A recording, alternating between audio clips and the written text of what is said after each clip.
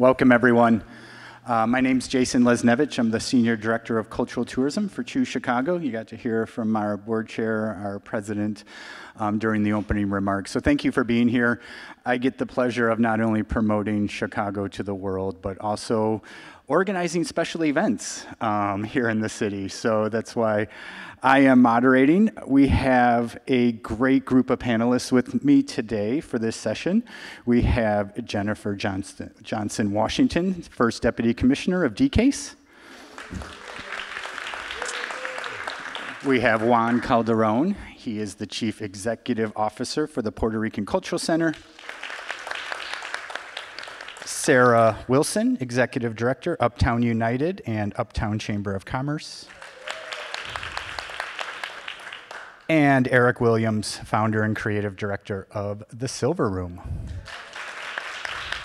Today we just want to talk about, you know, special events in neighborhoods, how to get started, some of our best practices. We've all done neighborhood events um, throughout the city. I helped create the Chicago Friday Night Flights program in 2017, which is a series of craft beer tasting events throughout the city. So I get to pull three to four special event permits per year and I know all my fellow panelists have experience. So we're just going to share some of our best practices, some of the major aspects that we feel is important about, you know, organizing and promoting a special event in your neighborhood. And then of course we want to hear from you and we'll have some Q&A at the end. So um, without further ado, I thought I would start very, very basic and ask Jennifer, what sort of events are we talking about that need a special event um, permit through the city of Chicago because there's quite an array. So good afternoon, everyone. Welcome to the Chicago Cultural Center. I, got the I have the privilege of working here every day. My office is on the other side of the building, Still welcome. Um, a special event permit in the city of Chicago is required for outdoor events only, and only if one or more of the following apply to you.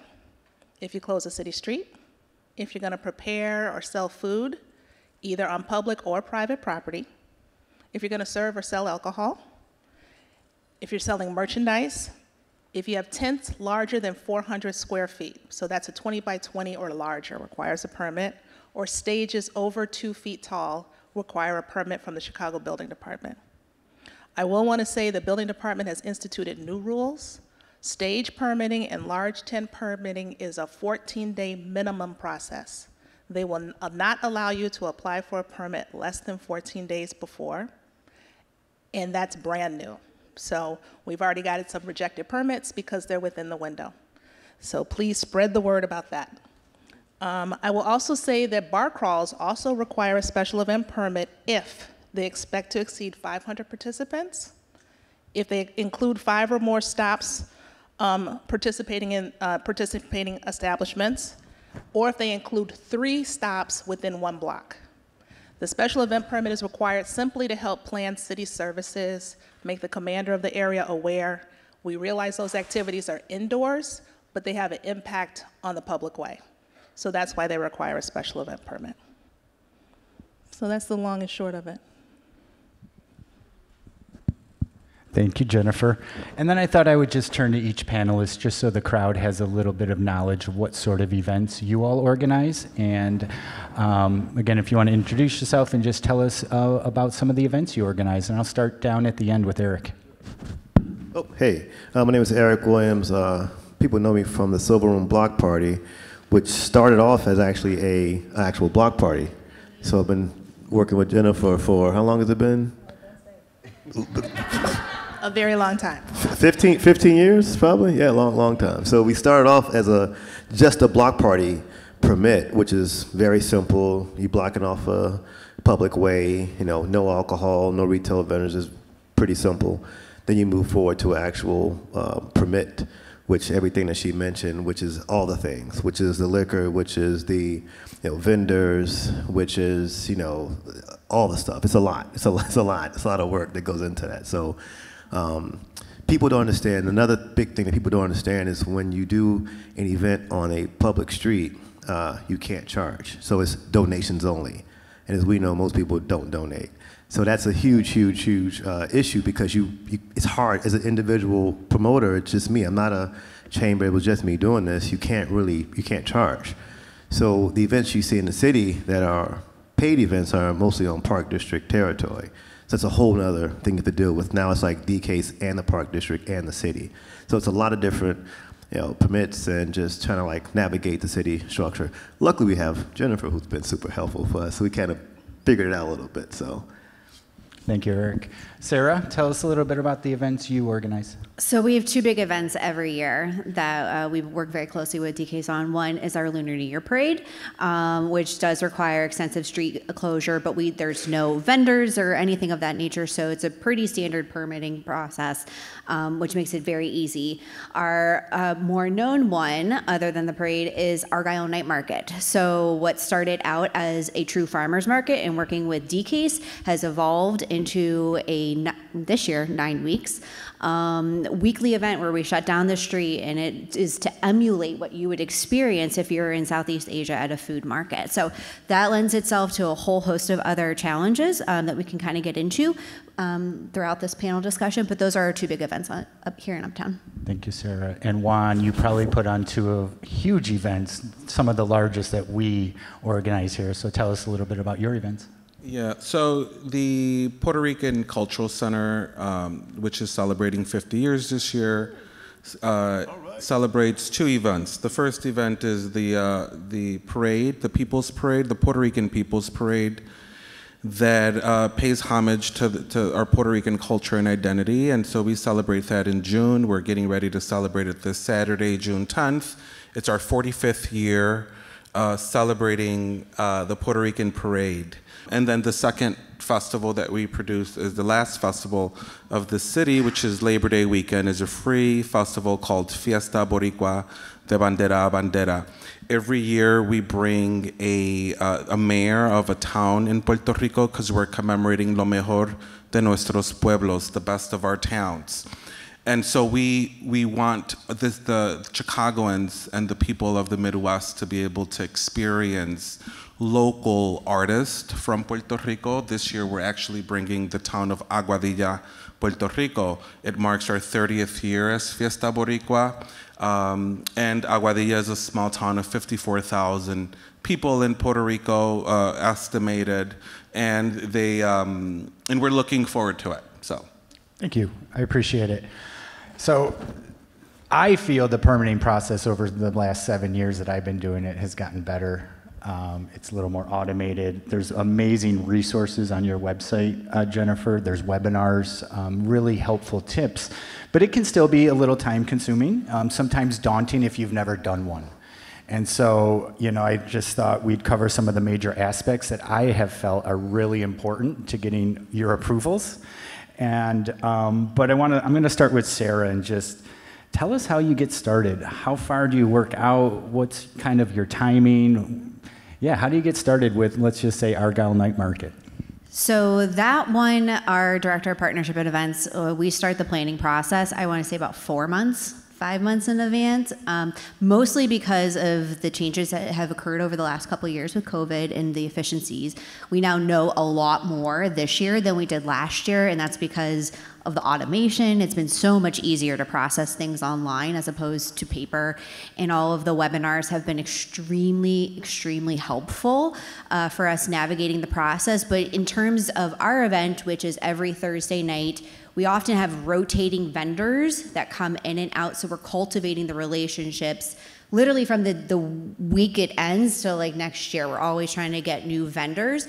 And so from the beginning, as soon as we know that uh, we have funding secured, which we can get to in uh, uh, another uh, point in this panel discussion, we are working with the vendors one on one to ensure they know what the what the timing is for their summer sanitation permitting process, making sure that they've had their kitchen inspection within, I believe it's a 60 day window of when they're actually going to be up and operating at our festival, which makes it a little bit different because we are not a standard weekend festival, which is three days. We're ongoing for, for eight to nine weeks throughout the summer. And so knowing when they're going to be, it's an ongoing conversation to make sure that they get those inspections done. And then as soon as we know that we have funding secured, we're literally starting the application process in the portal, which makes it super easy because you can keep going in on an as needed basis. Um, one of the things that we've learned from last year to this year is to start the outreach for the EMS services earlier than we did last year. Um, I think many of us were kind of scrambling last year, trying to make sure that we had adequate coverage as per the new regulations through DCASE. So this year we started that outreach, I want to say, about two months in advance just to start quoting because it is the summer. It is the summer of festivals. Everybody is trying to tap into a very small pool of EMS operators. So making sure we have that, that's more of like a two month long process. But we use the same footprint every year. So it makes uploading the site plan very simple because we don't really change it. One of the new changes we have added is having a beer garden associated with it, which adds a whole other layer of um, permitting, which I'm sure Jennifer could get into. But um, for us, it is literally from the day our market ends, we're already cultivating the relationships with the vendors. Beginning of the year, we're letting them know, hey, these are the dates that we have it. So that's about six months in advance. Mark your calendar. And as soon as we know that we have funding secured and that we can actually put this on at the level that we want it to go, so about two to three months in advance, we're working one on one with the businesses. Get your licensing that you need, get your uh, summer sanitation, because you ha- we have to have all that in order to upload it and register them as vendors. And so um, it's no less than three to four months to start the whole process for our weekly type of process. Thank you, Sarah. Sarah brought up um, some very great points. The sooner you start, the better. You can start your special event permit in our application system 180 days before your event. So you can start the process six months in advance. Our, our um, administrative fee goes by how soon it is to your, your festival.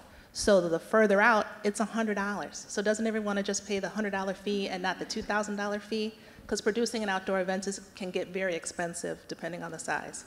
And I'm glad, Sarah, you also mentioned the EMS. EMS services are based on your anticipated attendance. And the fire department has gotten very strict about your EMS services. So the sooner you secure them, the better. There is a shortage in the, in the city. So um, that's a really great point. Thanks for that. And I, I will just say a little, um, Sarah, you, you mentioned another good point for me is vendors. Um, not only are you doing the permitting, but you're also working with your vendors directly to make sure they have everything in place because it's actually part of your permit that needs to get approved.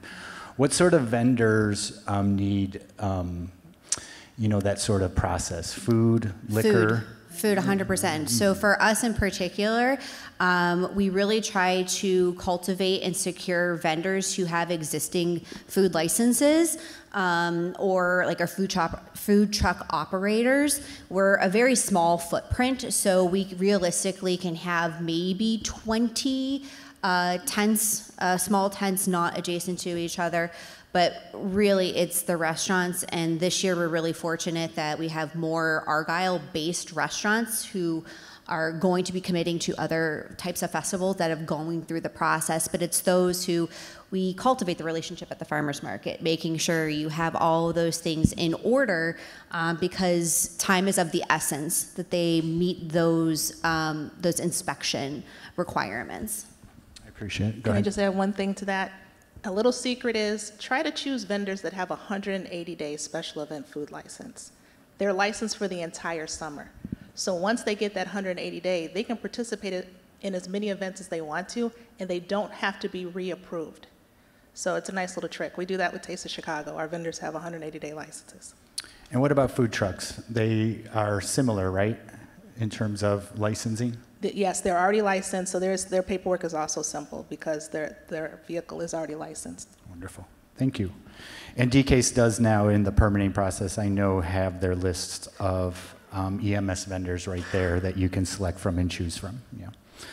Um, another big aspect of the permitting process, and something you all probably do really well, and I'm going to turn to Juan to address this one, is community outreach. You know, part of the plan, uh, part of the process is, you know, coming up with your community outreach plan, how you're going to promote it, how you're going to gain support. It's, it's a very critical aspect of the permitting. So Juan, I you know, I want to talk to, to you about how do you go about, you know, community outreach, community support, and how far out are you having these conversations? Right. So, I mean, historically, the Cultural Center has built community by a lot of the, the team that has historically done our parades and or our festivals are still working with us.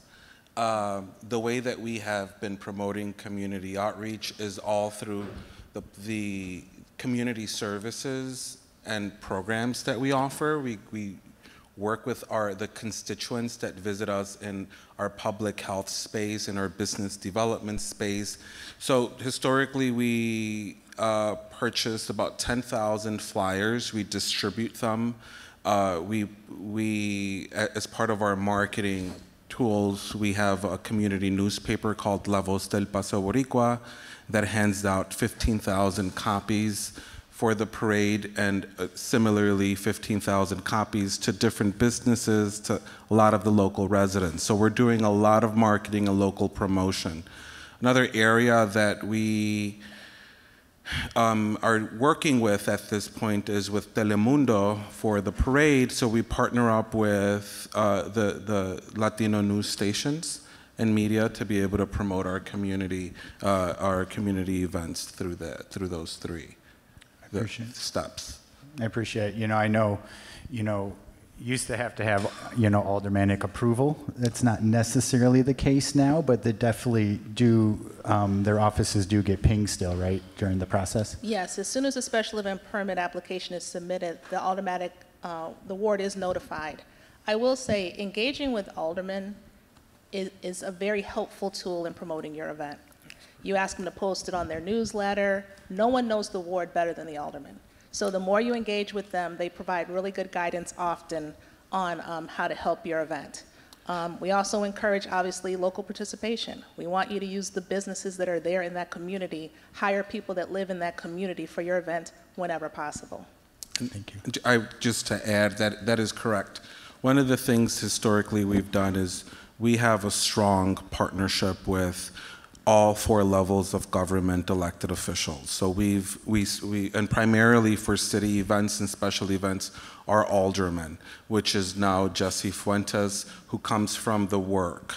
Uh, but beforehand, we had a, a, long history and relationship with our alderman, uh, retired Roberto Maldonado, and that facilitated not only access to local residents, also getting the information about the two events, but also it helped to facilitate any delays and and help to you know any delays um, in city in government to be able to get the permit or if there's any issues that were holding up the permit the alderman will submit an inquiry to the department and then we will be able to resolve it if we weren't able to resolve it at any given point. So having that relationship with that with the alderman for large events are very important and, and I'll just add to that too, and when you fill out the special event permit, it goes through a process of all the different departments that have to approve it. And one of the, um, I, it's it's a good challenge to have is that we've had aldermanic changes um, in our in our uh, service area, but the offices are still getting up and running, and so cultivating the relationships as early as possible, um, so you can flag it and say, hey, FYI, I know you're still getting set up, but this is going to come in your inbox and we need you to respond because delays for permitting, you know, increase the the just the overall challenges of being able to put this on. But having a relationship with the alders is enormous in order to make it go as smooth as possible. Yeah, and I would just echo everyone up here. It also has to do with the su success of your event. Um, you know, we don't want to be going into communities where we haven't done that outreach, where we haven't had those those conversations with the people that we're affecting by having an event. So having the community support will only make the event more successful, and you definitely need to have those conversations. Um, another big um, part of it is, for me at least, when I when I do events, is the emergency action plan and uh, the safety plan. Two very important critical components, documentation that you'll have to provide that you've actually thought this through and have provided, you know, sound emergency action plans and safety plans. And so I'm going to turn to the panel. I'm, I'm going to ask Eric first, you know, um, kind of what some of your processes to make sure that you've really thought about you know safety for your for your event and the community that is supporting it and you know emergency action plans for your event Sure. Well, you know, it starts with the site map, obviously. You know, like you know, just kind of thinking about egress, ingress, and like what makes the most sense. when we used to do it on the street, it was different because we had these very, very narrow streets. Now we move to uh, the beach. It's a little bit easier to kind of navigate through that.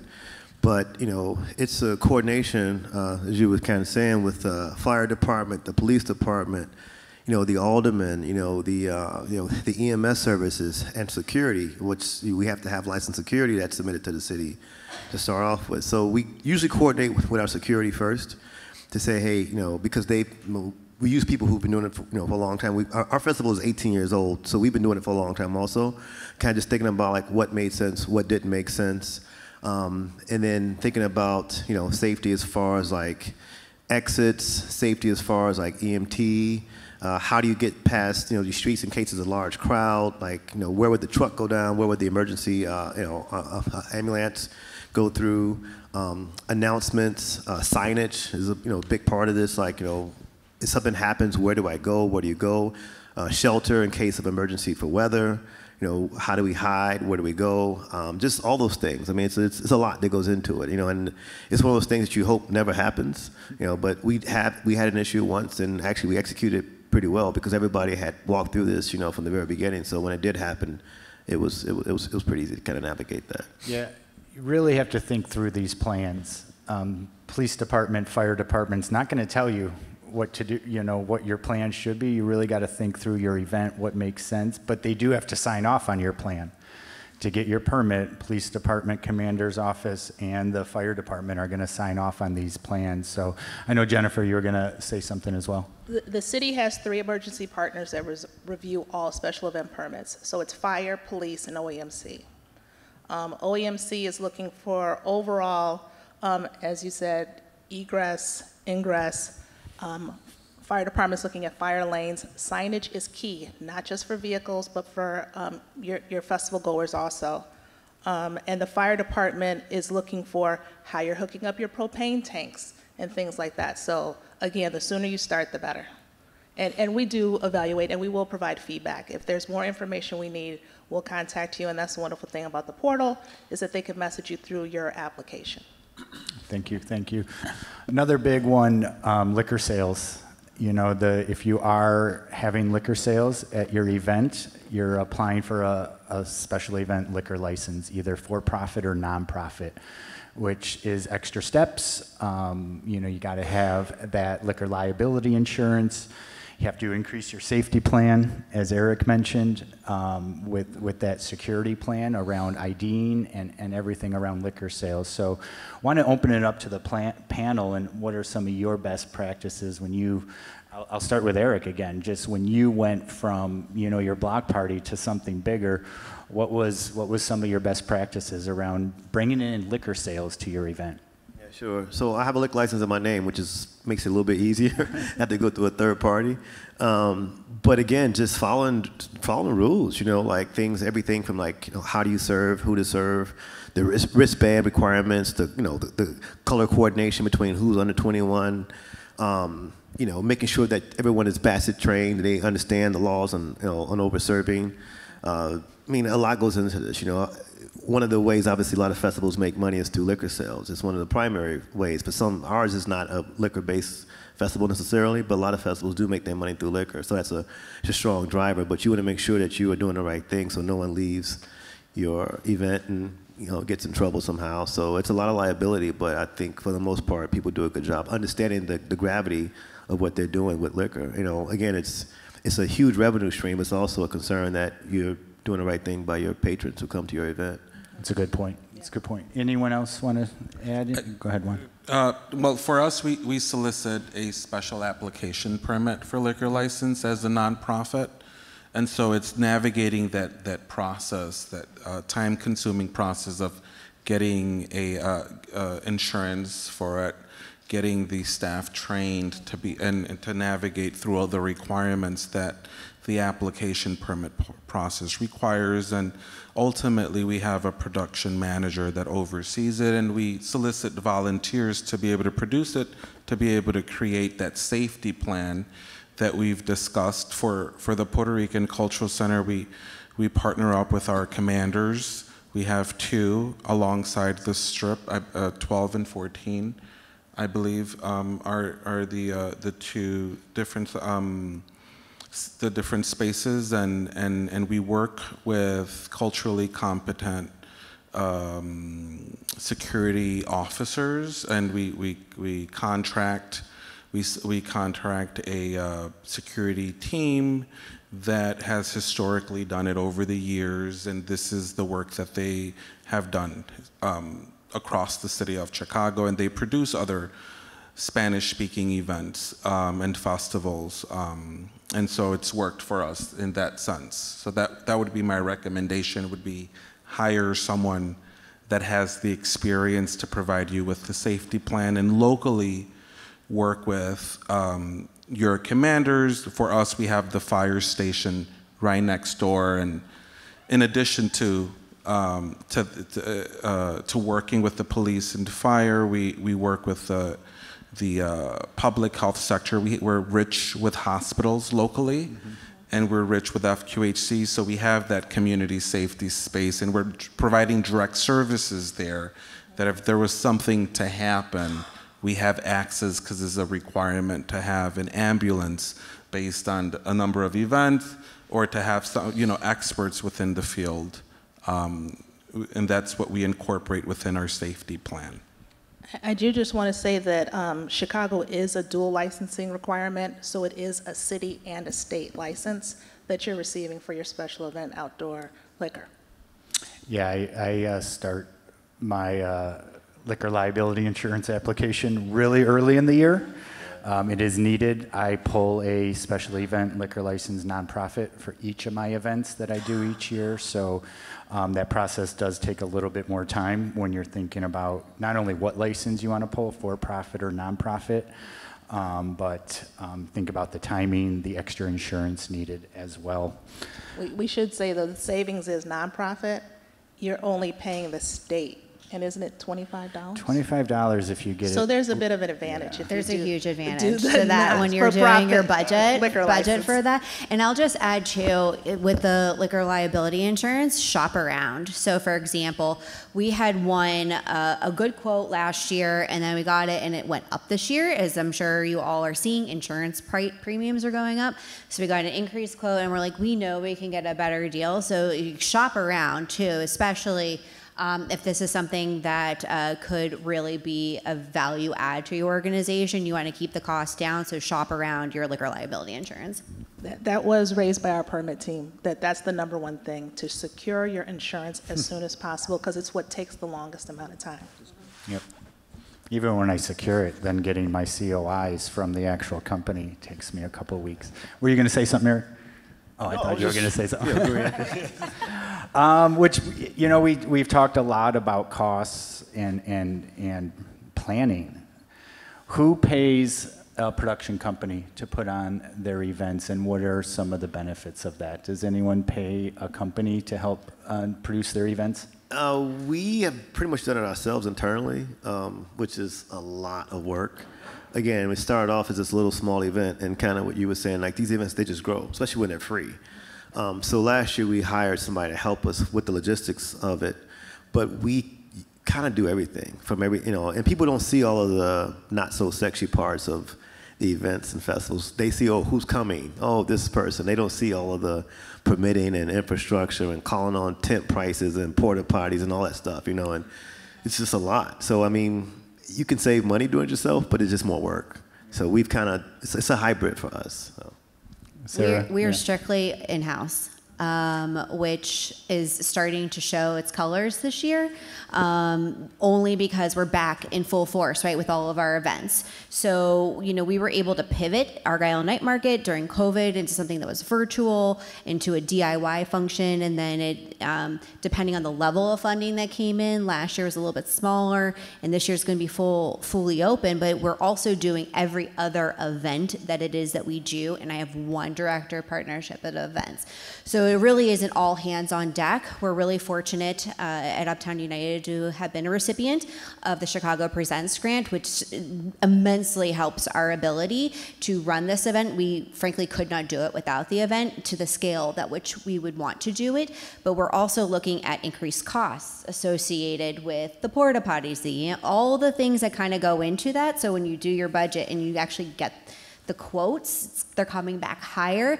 And then the ongoing outreach with all the vendors and the time that you're also trying to juggle your other events, we are exploring if there's opportunity to, uh, to offset some of those responsibilities on permitting or licensing with a production company. We're certainly exploring that. We don't want to be completely hands off, but we're getting to the point like we have to because my staff capacity to take it on and execute it to a level that the community has come to expect and that we ourselves hold um, to a specific standard i also have to think about my staff's bandwidth and their mental health and the ability to execute it at the level that people want and if that means i have to look to a production company. I don't know what Argyle Night Market will look like in the future because it just gets to be a very costly event for something that is indeed free. We make no money on these events.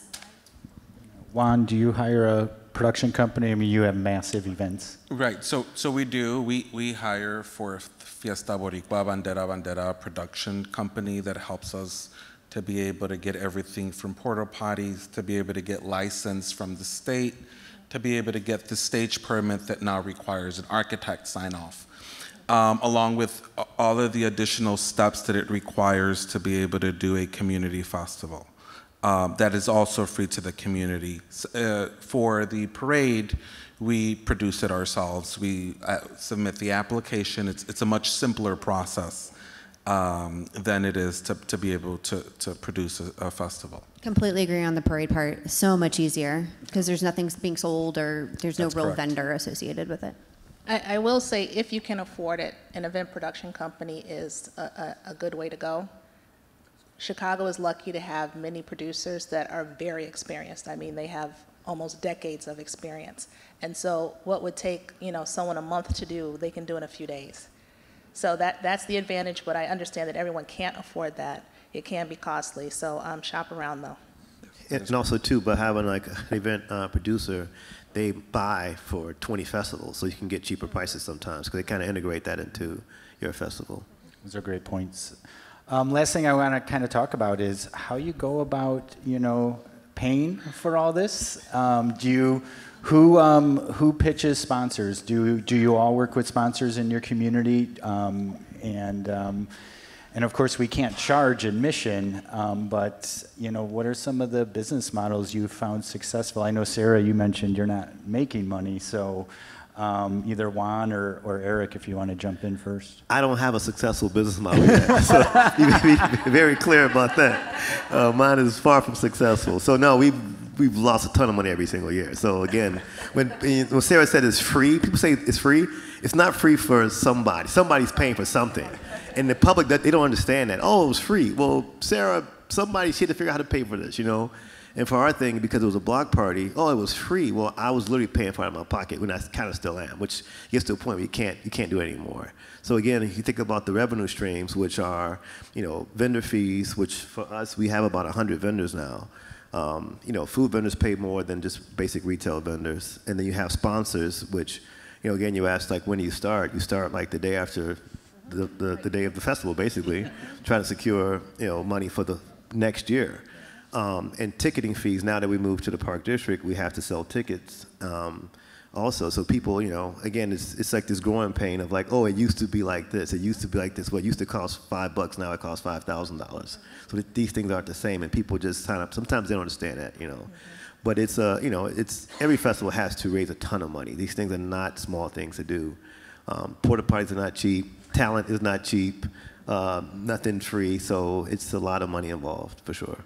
We do. Um, so part of Argyle Night Market has uh, cultural has cultural performances. So we do sponsorship levels for every single week. So we can either do a season run. So we're really grateful that Choose Chicago has come on as a season sponsor of the stage. So that is great PR for them on a weekly basis because our media presence is growing and attendance is growing. So we have sponsorship there. We have a season market. Uh, season sponsor with Great Lakes Credit Union. So as I do my pitches for annual sponsorship, we also roll out event ones. And so for many of our local businesses, um, it's increased exposure and it's marketing costs for them, but people are very stretched because everybody's getting asked to be sponsors at this point. So um, we do get some sponsorship, but not to the same level that we used to in the past, only because we're getting bigger and everybody else is, you know, trying to dip into the same pot. I'm going to ask you one quick follow-up before Juan. Um, do you only go for sponsors within the community, or do you look outside the community as well? We, st- we start within the community, but then we go out as well. But it needs, from our perspective, there's got to be a connection to the community. Um, we're really grateful that we've had an increase of AAPI businesses that are seeking sponsorship. For example, our Lunar New Year parade, we had a oil, a cooking oil producer, come across our sponsorship um, and found out that that uh, cooking oil producer is in like 90% of the restaurants on Long Argyle Street, so that made sense. So we're we try to be very thoughtful, but at the same time, beggars can't be choosers about it. Um, but I really do try to prioritize our neighborhood organizations or businesses because it's all about community for us, and we don't um, we don't limit it, but I really want to amplify those that are within the neighborhood first. Juan, how do you go about raising money for your events?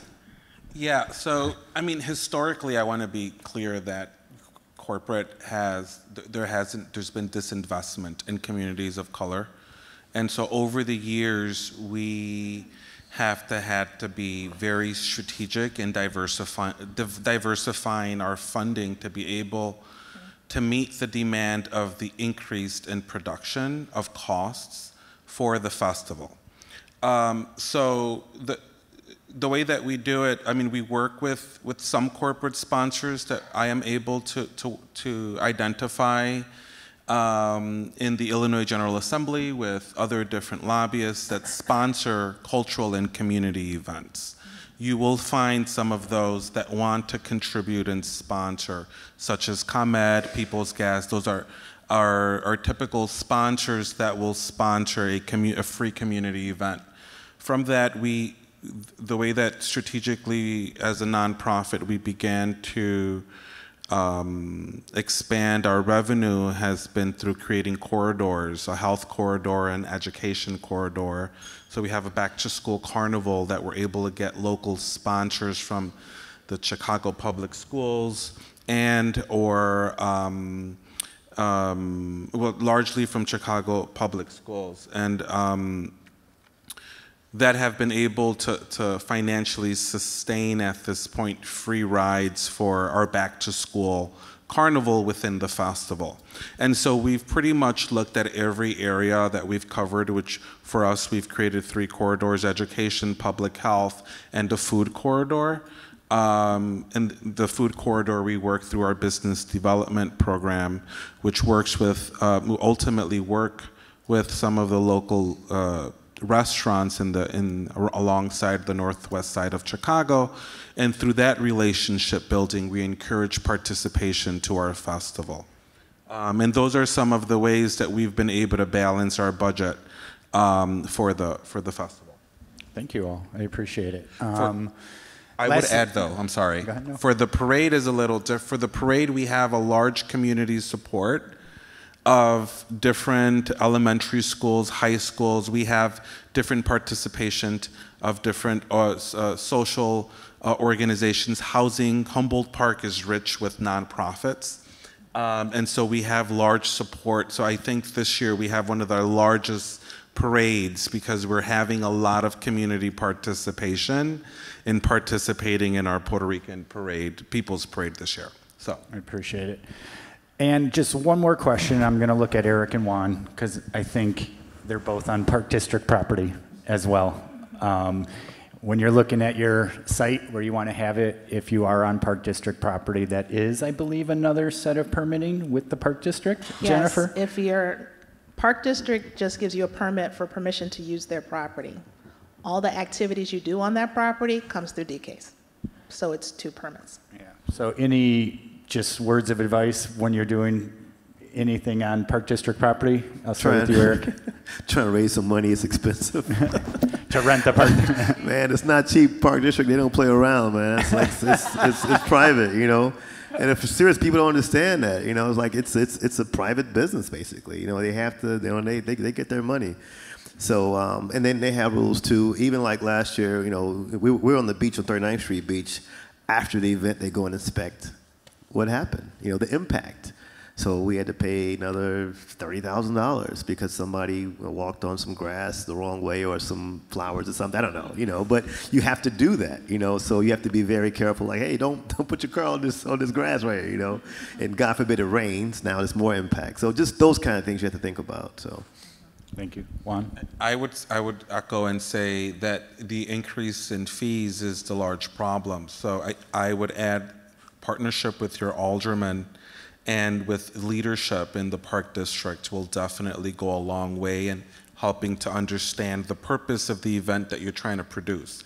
If it's a for-profit event, there's going to be an expectation that you're going to pay for that public private space. If it's a nonprofit event like the ones that we normally have, I you know there are ways to work with your local aldermen to really promote the value of that event that you're hosting and there there are ways to reduce the cost and to help the reduction of cost um, but ultimately is through a streamlined partnership with the city, with the aldermen, with DCASE, and everyone having a clear understanding of what it is to gain from this event. And uh, I think that that's what has been successful in our community in Humboldt Park with the local events that we have hosted is even for-profit interests uh, that are producing events in our park, uh, you know, they work with, with, with the uh, commissioner, they work with the alderman, and we all come to the table. They work with community groups that ultimately play a role, uh, like Fiestas Patronales this weekend, that play a role in the production of this festival. You know, I just want Thank to you. add a little bit, Oh, kind of what you're saying. I mean, you know, again, I think for the general public, they don't understand the difference between, you know, a small event and Lollapalooza. Like these are very, very different things, even though they're, you know, for the public. You know, we're trying to do events that's for the community, so you want to keep them free or very accessible. So you have to be able to keep the cost down on our end to be able to do that. Um, you know, we partner with some local partners sometimes in the community from uh, SCCC, actually, like with Diane. Um, you know, they do a little bit of, you know, grant making and sponsorship because the idea is to keep it accessible. Because if it becomes this thing where everything's going to be $200 ticket prices, you won't have anything that the average person can afford to go to in the city. So that, that's a very important connection. I appreciate it.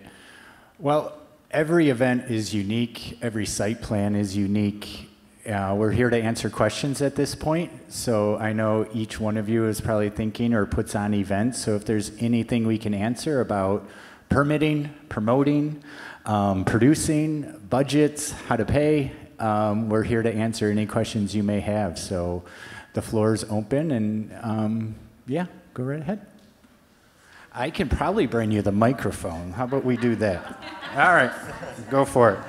Um, just a really rudimentary question, so with the park district, the permitting, is that only for outdoor events? The DCASE only permits outdoor events.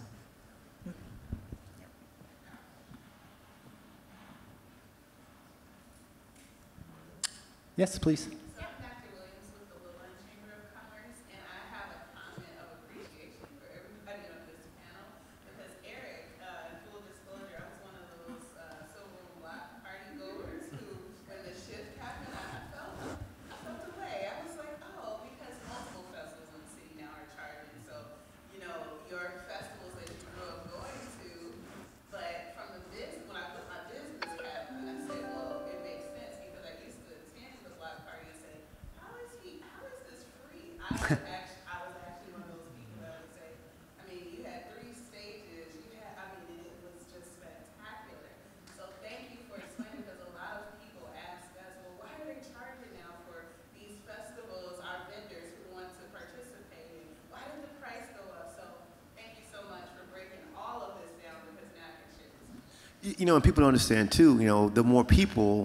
means more money, more cost. You know, the, when the first year I did it, 18 years ago, or whatever it was, 20 years ago, I think I spent 500 bucks for 500 people. The last time we did it in Hyde Park, it was 40,000 people. And then now, you know, a budget went from 500 to 1.5, um, you know, a million dollars. Know, these are not small things. So people ask the question of like, what I have to pay. It's like, well, who do you think is paying for this? so you know, like, it's this is this is not. So I think it's a mental challenge for some people because even this thing of donations and probably most people in this room, you know, maybe not you, have done this. You see donation, they think, well, that they don't mean me. They mean everybody else, right? And so these you know, chambers and you know, people trying to put this stuff on, this idea of donation, we tried donations, we got less than 10% of the people actually donated. So that, that, that doesn't work. So you have to charge, basically. Yeah, I would agree with that one. Like people just don't, donate. Um, but we also rely and we try to layer all of our funding. So sponsorship, uh, grant opportunities. Our SSA does uh, award um, Argyle Night Market, uh, one of the community event grants to try and help offset the cost. But it is something that as events keep growing and inflation is still real, um, we also have to think about we have tried historically to make it as accessible as possible for our vendors that we're now going next year are really going to have to sit down and look at the numbers and see do we need to increase our vendor cost? What is the cost benefit of that? Are we going to potentially lose vendors from that because you know there's now this added cost? And so um, even though we have please don't like a, a very small we encourage donations to the organizations it's it is a, like pennies in comparison to what the overall budget is I, I, I want to just share that privatization is a problem right here in this city, and it's something of our festivals at this point, and it's something that we have to explore and look at in, in terms of how do we work with the city to, to, to increase revenue and to see the importance of the increase of production. And so, not only the city, but the state. There are awards that are made, there are a lot of events. I understand that. But there is a balance that we have to keep as a native Puerto Rican Chicagoan, uh, Puerto Rican Mexican, of maintaining our cultural events annually in our city. And I think that one of the, the things that we are we promote is, is is how do we provide continuity for future generations and so and that's that's what we do and we do it with a grain of love um, in the community but it is a problem and i think that it's an ongoing problem that we're, we're in the future going to have to tackle Thank you, Juan. We had another question up front. Oh. Okay, yes, in the green coat, if that's green. Um, Kim Close, um, Foundation Little Village. So we had an interesting problem come up. We do a, we just got awarded a DCASE Farmers Market. We have a, this plaza, Manuel Perez Jr. Memorial Plaza. It's the only open space on Twenty-Sixth Street. Of a community market that then turned into a farmer's market was, um, started during the pandemic. Okay, so we just opened it up last weekend and we had a DCASE permit. And an LGBTQ organization had a Department of Transportation permit for the same date. And, um, so both were valid and we ended up doing a collaborative event and it was extremely successful. But I was just like, and so I talked to Alderperson Mike Rodriguez and he's gonna, this plaza was not utilized like at all until the pandemic happened.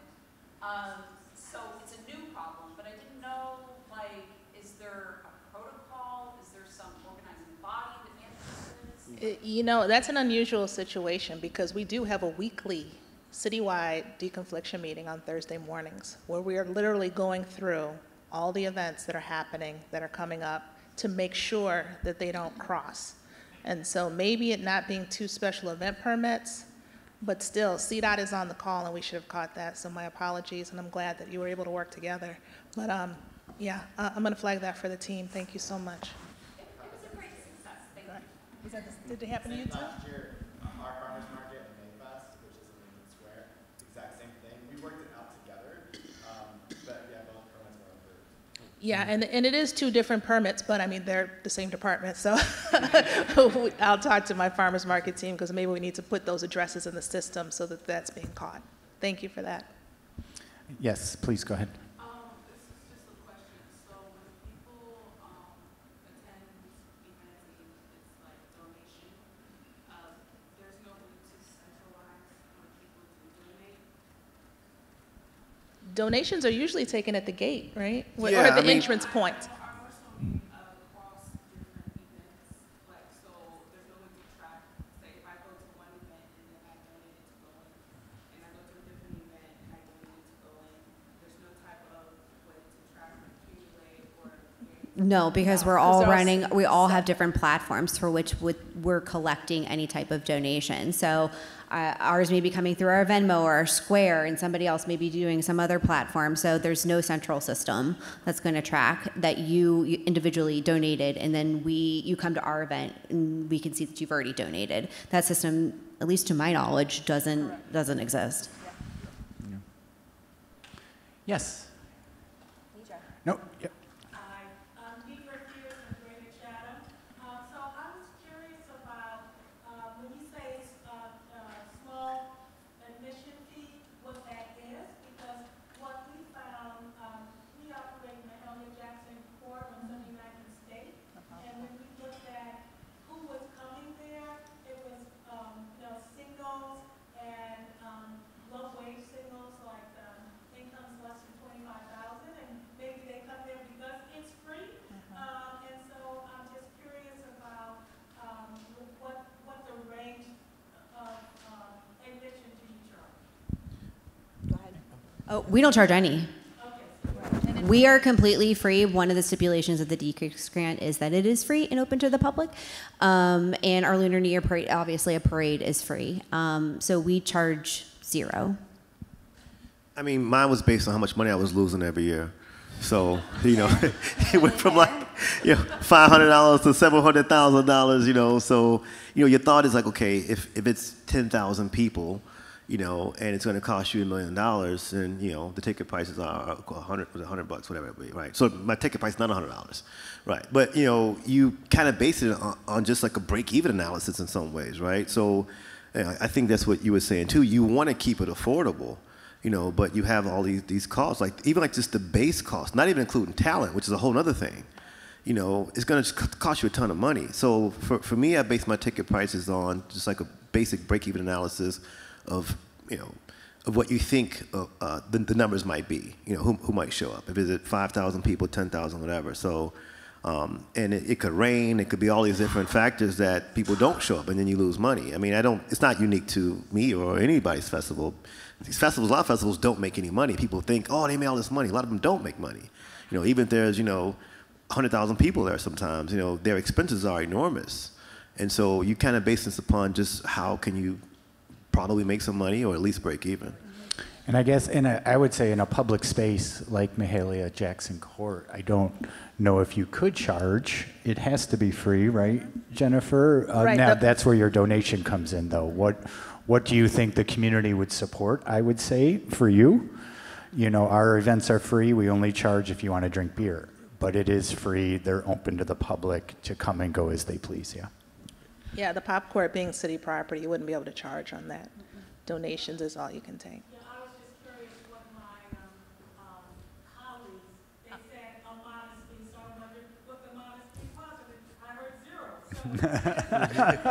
zero. Yeah, for us is the same way. For for our festival on Labor Day weekend, we we have a suggested donation box. I think if we've been able to uh, fundraise three thousand dollars is is a lot. So less than ten percent of of the population that attends uh, contributes a significant amount, and it's the population that we serve. One of the things I've been hearing too from colleagues uh, in our MBDC EDO chamber space is um, moving towards QR codes for suggested donations because people are so used to being on QR codes now that um, I think, you know, as one, I don't always carry cash on me. And so suggested donation, oh crap, I don't have That's cash. your excuse, right? That's your excuse. Right? excuse. No, I really don't carry cash on me. Um, but now that it's QR code, it makes it so much easier, right? So it'll be interesting to get feedback from my colleagues here in the audience that do run those festivals of did you see an uptick year over year because potentially you introduced a QR code for a suggested donation and it's just easier for someone just to click it and make the donation right there. So I'll be interested to hear next year reporting out from my colleagues on that front. Yeah, I know that the, last year we actually uh, asked for donations. We had about 30,000 people. We collected $7,000 from 30,000 people. And I think the other difference is that people can't disseminate differences in, in events like ones that are put on by the city at Millennium Park, those are free. Well, why are they free? You have to explain to people. They're not free. It's tax dollars, blah, blah. So they don't understand the difference. Well, how can we have this free event at Millennium Park and then Pitchfork is, you know, whatever, 200 bucks. So it's just people don't really understand. So I spend a lot of time trying to explain to people why the Puerto Rican Fest is free, but this one is not, blah, blah, blah, you know. Thank you. And the We- city oh. festivals cost money too. Right, but people don't. They're, they're great expenses We might with be able to get in two more questions. Yes, please. The social media and content creators workshop is next door, but it sounds like the unanimous thing that's coming out in this room is helping Chicagoans understand the importance of donating to the nonprofits running these events to ensure the cultural succession, the music succession, the art succession of our incredible community. It's well said. Absolutely. Well said. Thank you. Any other questions we can answer for you? All right. Well, I want to thank you. Oh, yeah, please. Question for Jennifer, uh, what are some of the most common reasons why a permit is delayed or The largest um, delay in a permit is an incomplete permit. we are missing so much information, and then we're calling, calling, trying to get your summer sanitation certificate. So we're trying to get the proper insurance. The insurance came wrong, it has to be corrected. So the more complete you can do the application and accurate you can do it, the faster the process. And as it was mentioned before, there are eight city departments that have to sign off on every special event application. And we process over 700 applications a season. The other thing is too, just really okay. quick. I mean, just you have to handhold a lot of these vendors all the times. Like they just it's their first time doing it. They don't know. You have to just literally hand, hold their hand. Hey, you know, checklist for this. So you spend time doing that also. They're not just handing in a complete application a lot of times. And I will just say DCase is so responsive though for the like this is incomplete. Like we are a weekly uh, we're not a farmers market. We kind of look like a farmers market, but we're, we're permitted as a street festival. But we have rotating vendors, and so it is like they are so responsive when my director of partnerships and events uh, will say, "Hey, I've got this going on," and then you know, kind of figuring it out along the way, or "Hey, this insurance is incomplete." They are responsive on that end. So you know, DCase is responsive when when it you know Yeah, I would when it say, comes to it. as we've all talked about, start early, know the permitting process, look through the whole thing, see what documents you have to gather, because it is it is a lot depending on the scale of your event, um, your insurance. Liquor, my liquor liability insurance uh, license. You know, I need two, two COIs, sometimes three in different names. So you got to really know all the requirements across the various aspects of the permitting process. But once you get it in and it's complete, it does go very quickly, and, and the approvals start coming if, if everything's in order. Um, yeah. Can I just make one, one little Yeah. plug? If, if you have the opportunity and haven't, go to our website. There's a lot of helpful information. There's a resource guide, there's webinars, there are templates that help you. So even just scanning that information puts you that much further ahead. And of course, we're an email away, so thank you. Right. I want to thank all my fellow panelists. This is just a small little gift from Choose Chicago for all my panelists for participating in the Neighborhood Tourism Conference. And so thank you all, um, Sarah, Juan, and Jennifer. Thanks, everyone. Enjoy the rest of the conference.